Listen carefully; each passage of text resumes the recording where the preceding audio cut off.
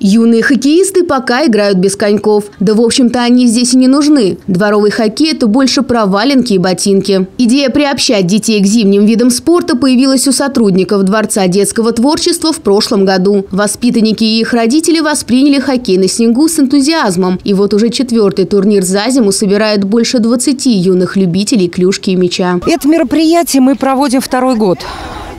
Ну, наверное, будет уже у нас традиционным в зимнее время года. Но мы исключили как раз вот те моменты, которые связаны с травмами. То есть это вот коньки.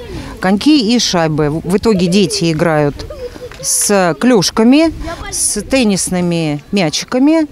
Ну и обувь у кого какая есть. Матч состоит из одного периода в 5 минут после смены команд. И хотя хоккей на снегу подразумевает все-таки физкультурно-оздоровительный характер, спортивный интерес и желание обыграть команду противника никто не отменял. Правда, на этот раз до победы командам не хватило совсем чуть-чуть. Ничья 1-1. Я первый раз в жизни играю в хоккей. В хоккей.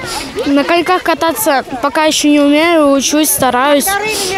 Стараюсь бегать на льду, чтобы не подскальзываться, держать равновесие.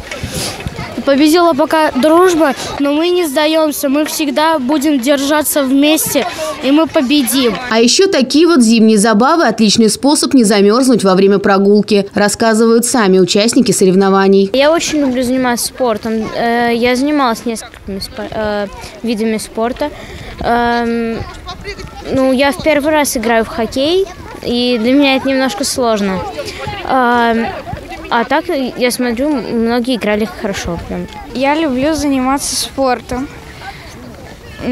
Ну, поиграли хорошо. Я первый раз играю в хоккей без коньков. И наверняка не последний. Такие вот матчи планируют проводить еще. А там, глядишь, и до золотой шайбы будет недалеко. Кристина Бочкарева, Михаил Лазуткин, телекомпания «Город».